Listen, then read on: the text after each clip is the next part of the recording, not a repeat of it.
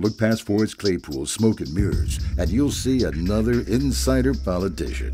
City Hall insider Claypool cut a deal to let a private for profit company run parking garages. Claypool was paid thousands in campaign cash, but we paid more in parking fees. Claypool gave out huge pay raises, ignoring a county pay freeze, while we pay higher taxes. When the smoke clears, you see the truth. Higher fees and pay raises. Support the Democrat, Joe Berrios, for assessor.